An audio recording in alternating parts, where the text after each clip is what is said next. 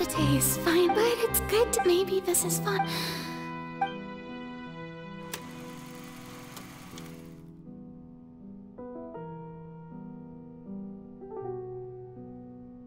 Lady Furina, here are the. Uh, they'll.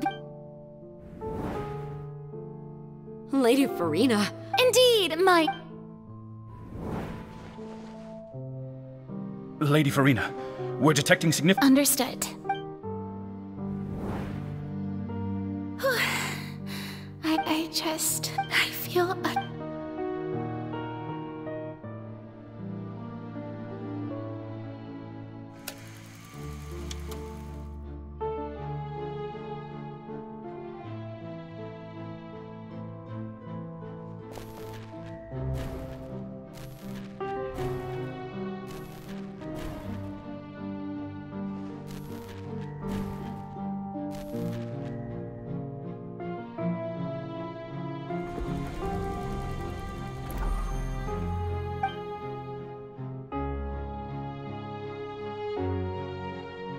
Lady Furina, it's. I've heard that the first. hmm? Are. Are you crying? Uh huh. Uh, oh, really now? I didn't even notice. This must be the overflow of hydro from my person. Well, can't quite help being the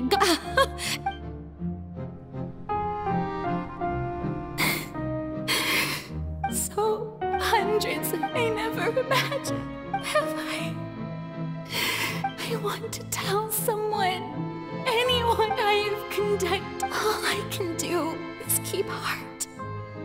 I must maintain this act.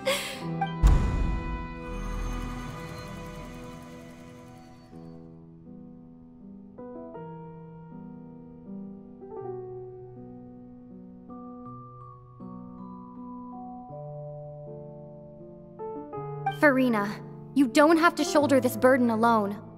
Although I don't know what you might be keeping.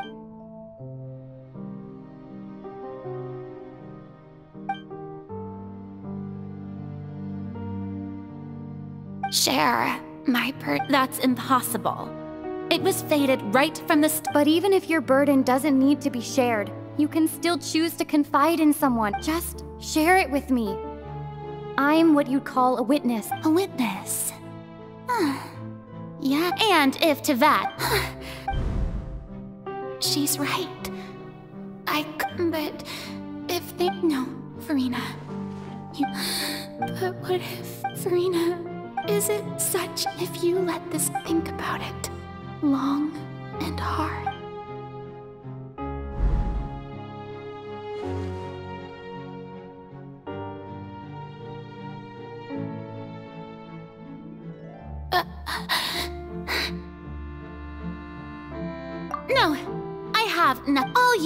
To do, dear spectator, is to wi-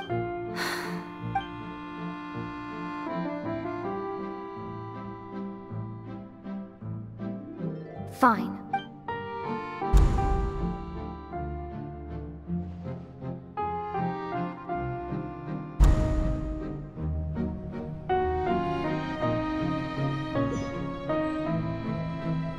So even Furina doesn't know the truth? You've never once let her in on the full plan? Yes, it had to be done. To deceive the heavenly principles, you must first deceive yourself. She did very well. If she had let her resolve falter even once in these five centuries, Fontaine would have been doomed to the most tragic fate. It seems that trusting humanity was the right decision after all. I believe that I understand how your deception works, but that is only half the truth, is it not? How would you build on this foundation to save the people of Fontaine? That is the most important thing. Ah, good, good. Of course, the Iudex of Fontaine has pinpointed the crux of the issue. I'm sure you've long sensed that the Oratrice is no simple machine, yes? I've always suspected that it had its own consciousness. And Lyney did mention that he heard a human voice within the core chamber.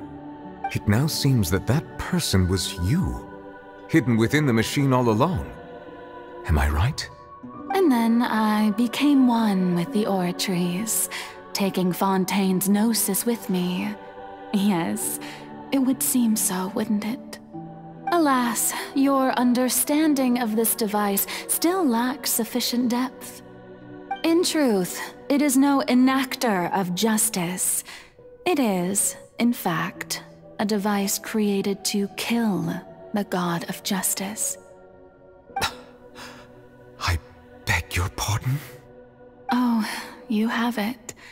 And to be more precise, not only will the Oratrice take down the god of justice, it will also take down the divine throne upon which she has been placed. I mean, did you think I would be the sort to enjoy peaceful repose while Furina suffered? My work over these last 500 years has been to constantly accumulate indemnitium within the Oratrice. But really, some have already discovered that only a small fraction of the energy generated by the device was ever used to provide power to Fontaine. The vast majority has been, had to be, accumulated to enact this death sentence. It was all a part of your plan then? Both the trial and the sentence? Indeed. This power, accrued over five centuries, could have sustained Fontainians for millennia had it only been used for that purpose. Almost all of it has now been stored within the Oratrice. But only power of this magnitude could hope to destroy the Hydro Archon's divine throne, shaking the rules established by Celestia and breaking through the institution that is the Seven. So the Oratrice's call for death was for neither Furina nor Focalors, but for the Hydro Archon. The destruction of that divine throne. If I do not misunderstand your intent, you must be... Returning what's rightfully yours to you, of course. In other words, this was all done to return the authority of the Hydro Archon to the Hydro Dragon of this planet. But...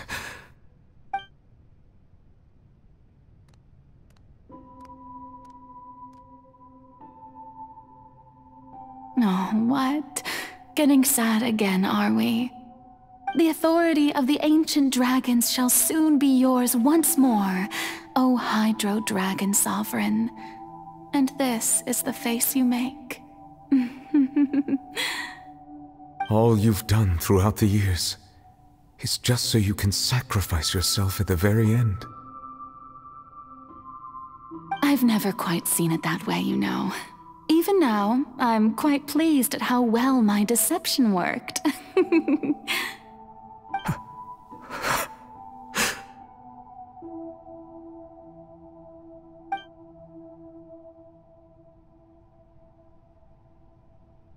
Hydro Dragon, Hydro Dragon, don't cry. I must say, had it been within my rights, I would have loved to judge the heavenly principles themselves. Were they not guilty of essentially the same crime? Egeria stole the power of the primordial sea, and the heavenly principles stole the power you ancient dragons possessed. I, for my part, am the god of justice. And is it not just that your original powers should be returned to you? Speaking of justice, I have always believed that justice lies in the process of pursuing human existence itself. So, if the theft of the primordial sea's might was Fontaine's original sin, then, leaving matters of procedural right and wrong aside, the descent of the Fontainians as humans and their right to exist in this world would be Fontaine's original justice.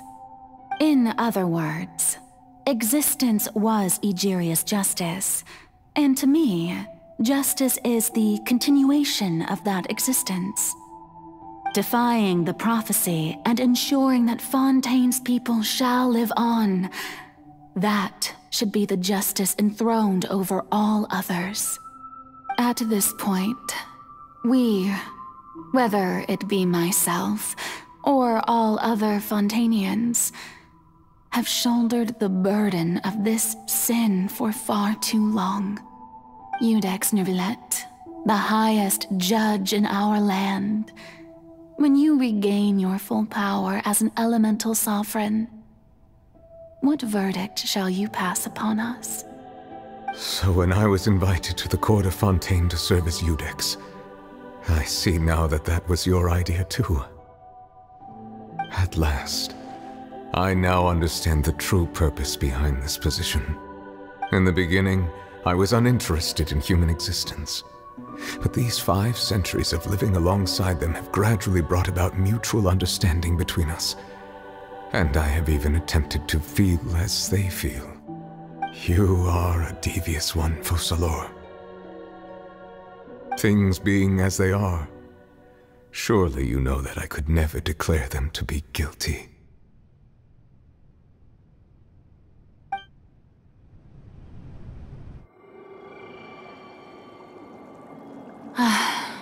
The hour of my execution is almost here. For the sinner, the curtain call has come. I know I may not sound it, but faced with death, I find myself a little afraid. Perhaps this is one thing both gods and humans have in common.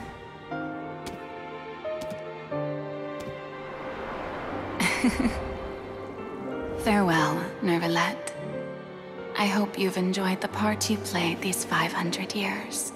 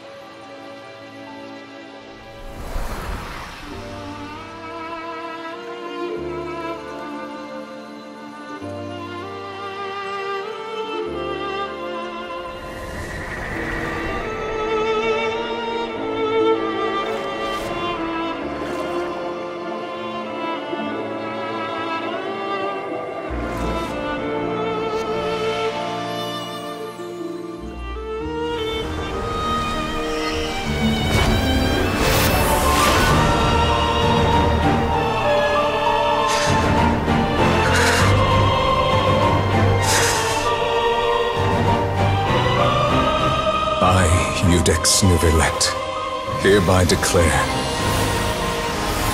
people of Fontaine, your sins are forgiven.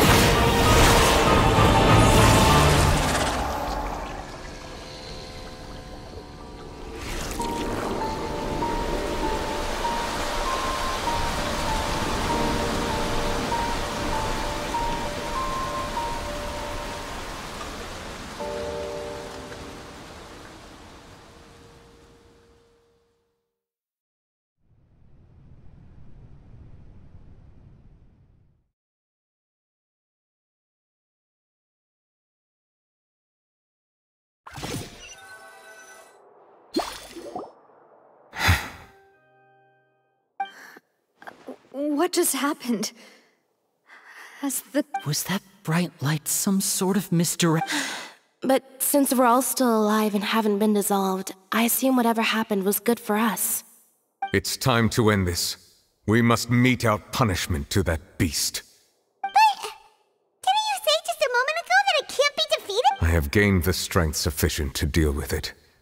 Through certain means, I now have the ability to separate the power of the Primordial Sea from that creature. We should seize the opportunity to pursue our quarry.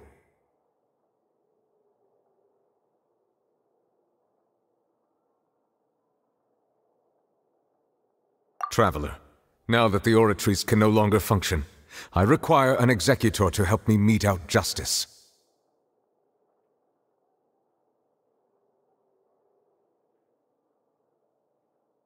The root of the calamities befalling Fontaine, the beast that enacts the prophecy. Its name is the all-devouring Narwhal. Come with me, traveler. The hour of execution has come.